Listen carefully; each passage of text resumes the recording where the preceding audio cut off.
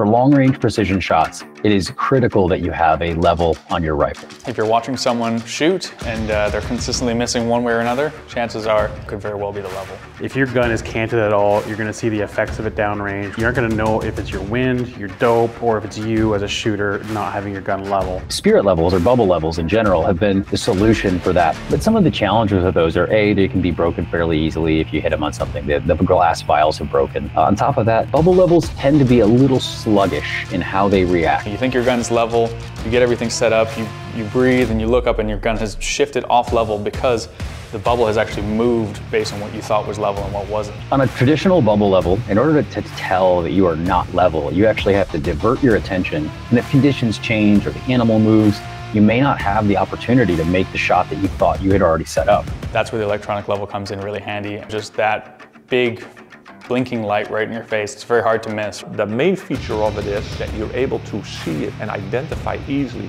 which way to tilt your rifle in your peripheral vision so that you can keep your eyes on target. You can place this near your field of view so you can just see it in your peripheral vision and make the adjustment while you're focusing through your optic and just send the perfect shot when the light is green. The focus of the LRA Standard Level Gen 2 make it more compact and remove some of the pain points that people have. The two main pain points are the button and the second one was the battery. It had a proprietary battery and we wanted to make that also a better experience for the shooter to use an off-the-shelf battery. If you're on medium intensity with your lights, this is going to get over 200 hours of battery life. That means you're going to be roughly 25 shooting days full on use without ever having to swap a battery. Nearly an entire season of, say, PRS or multiple hunts and years of use. The Send It has a very unique feature, a couple of them that are really, really smart. One is namely its sensitivity and how rapidly it adjusts. So you can know very quickly whether you're level or not. Two, because it auto detects its orientation, when you mount it 90 degree orientation, you can put it in the horizontal mode and it also knows when you're level. It allows you to have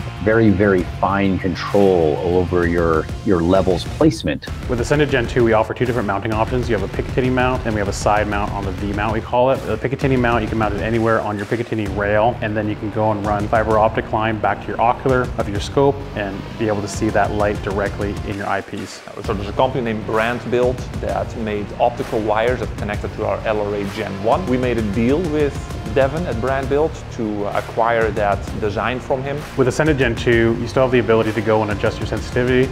We've also added a handful of other features. You actually can change your light orientations on this. You can have it set up in a single light as well. Green means go, and that's why you send it. You can get this level at one of your local MDT dealers or buy it at mdttac.com.